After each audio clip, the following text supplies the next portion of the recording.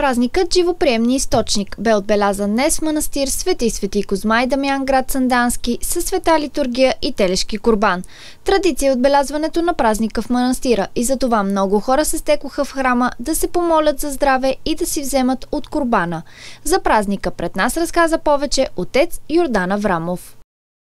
На днешния ден, който също е част от нали, празничния цикъл на Светлата седмица, Светли петък, е и така нареченият празник животворни, живоприемния източник, посветен на Света Богородица, която е родила Иисус Христос.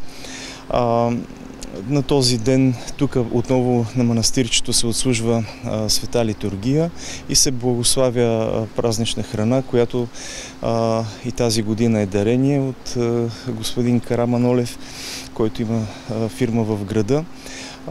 И храната, която се раздава, съответно също е дар, който иска може да вземе. Колко порции са приготвени?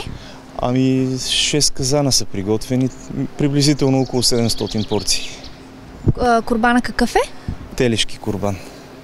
Телешко месо, дарено нали, от семейство Караманолеви, приготвено от така, доброволци, готвачи, нали, главният готвач е майстор, но общо взето всичко е дар.